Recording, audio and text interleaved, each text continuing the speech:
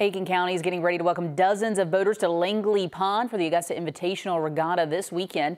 Officials already closed the pond to the public ahead of the competition. News 12's Hallie Turner is live with a closer look at what we can expect Saturday.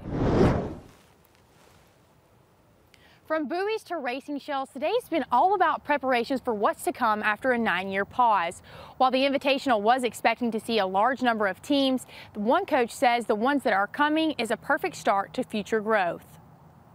Saturday is going to be a bit of a small day. We were hoping for 12 or 13 teams and we ended up with only four. After a nine year pause, the turnout did not come as a shock. That's due to the fact that we've been gone. We're just not on people's regular schedules yet. Saturday is set to change that. Saturday will help getting people back here on an annual basis. We're going to have probably 250 kids here. We have a small team at Augusta and then we have TriStar, Asheville Youth, and Charlotte Youth, all from different areas of North Carolina. Brad says it's the perfect kickstart for future growth potential for growth. We could have a rowing club in North Augusta. We could have a rowing club here on Langley Pond in addition to the Augusta Rowing Club. We could start a rowing club up in Columbia County. The area is ripe for growth. Thursday, an entire new racing course was installed. For starters, we had to install a brand new race course, and, and that takes a lot of time and energy from people who know what they're doing. The race course, eh, each line of the race course has 2,000 buoys that are supporting a stainless steel cable that it's all connected together together so that when you're out on the course, it looks like swimming pool lanes. And with construction turning the pond into a top course, he says future growth with more teams will come.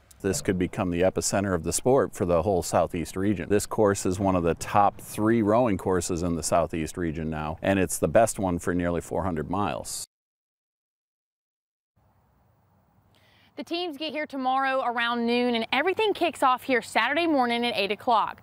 68 boat total boats total will take the pond, I mean, throughout the day, and it is expected to be wrapped up around 2 o'clock in the afternoon.